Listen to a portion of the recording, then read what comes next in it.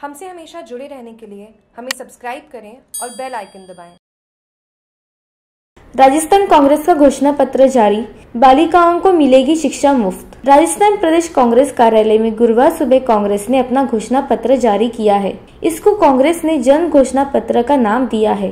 इस अवसर पर प्रदेश अध्यक्ष सचिन पायलट ने कहा कि भाजपा ने चुनाव घोषणा पत्र जारी किया है। वे पहले की घोषणा तो पूरी नहीं कर पाए हैं। कांग्रेस अध्यक्ष ने घोषणा करते हुए कहा कि हमने बालिका जन्म से लेकर जब तक पढ़ाई करनी चाहे, तब तक निशुल्क पढ़ाई की व्यवस्था की है। गोचर भूमि को लेकर एक बोर्ड बनाया जाएगा, जिससे अतिक्रमण जैसी समस्याओं से निदान मिलेगा। किसानों के लिए ट्रैक्टर और कृषि यंत्रों का जीएसटी से मुक्त कराएँगे। जो विद्यार्थी प्रतियोगी परीक्षा देने जाएँगे तो उनकी परिवहन यात्रा निशुल्क होगी। सरकार बनने पर किसानों का कर्ज माफ़ होगा। बुज़ुर्ग किसानों को पेंशन की सुविधा मिलेगी। कांग्रेस के प्रदेश अध्यक्ष सचिन पायलट ने कहा कि घोषणा पत्र के अंदर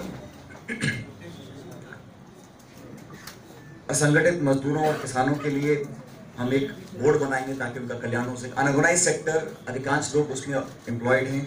उन लोगों के साथ हम लोग चाहते हैं कि न्याय हो और वो किसी के मोहताज ना रह जाएँ। इस बात पर हमने ध्यान दिया है। हम सिफारिश करेंगे और ये करेंगे कि जीएसटी के बाहर लेकर आए, जो कृषि के उपकरण हैं विशेष रूप से, जो इम्प्लीमेंट्स हम लोग खेती के लिए यूज़ करते हैं।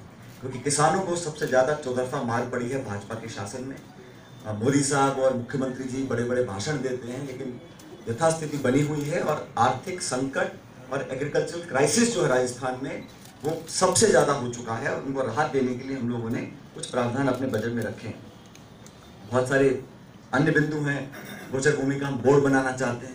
अतिक्रमण होता है, गोचर भूमि के ऊपर विवाद होता है लिटिगेशन में फंस जाता है तो हम चाहते हैं बोर्ड बनाकर उस समस्या का समाधान हम कर सके। जयपुर से जागरूक टीवी की रिपोर्ट।